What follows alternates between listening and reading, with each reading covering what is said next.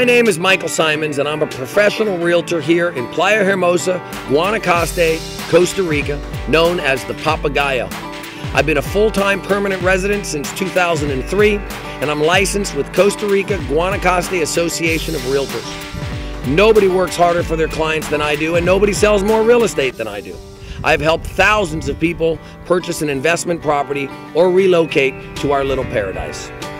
I will answer all your emails. I will answer all your questions. And I will be there for you, not just to sell you your property, but after. And most important, I'll become your friend. Hope you join us.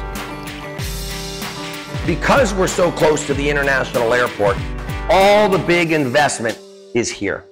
It started with the Four Seasons Hotel in 2002. A group out of Hawaii announced that they were going to build a half a billion dollar resort just on the other side of this bay. And that was the catalyst that drove all the money to this particular area because everybody finally realized it's real. All this development is going to happen. People hear the word resorts and they get a little nervous, like, oh my God, there's going to be all these tourists running around. Let me tell you, you go into the town of Coco to get a cocktail, it's not like you see anybody with a red armband from the Hilton. The people at the resorts tend to stay in the resort. But let me tell you what the resorts do for us. The resorts, first of all, employ a lot of people, create a lot of jobs, and bring a lot of taxes and a lot of dollars to Costa Rica. And we benefit from it because we're right here near the resorts, near the airport. The second thing the resorts do is they give a lot of confidence to people. Obviously, if someone invested $500 million building a Four Seasons hotel here, not anywhere else in Costa Rica, that says a lot. They did their due diligence, they did their market research, and this is the best place that you can be. The main thing that the resorts do is they force the government to put in the infrastructure. You go up to other parts of the country, Arenal, beautiful.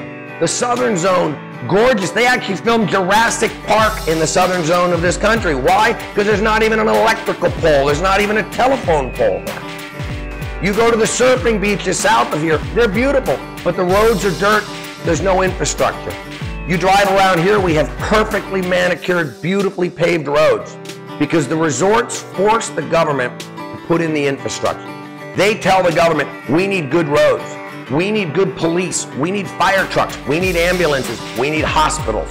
We have three beautiful hospitals within half an hour from here. They make sure that the government has all the best infrastructure for electricity, water, internet, cable, cell phone. You can go anywhere in this area and your phone works and you have a Wi-Fi signal and you can make a phone call. That's why the resorts are so important for this area. Come on down, baby.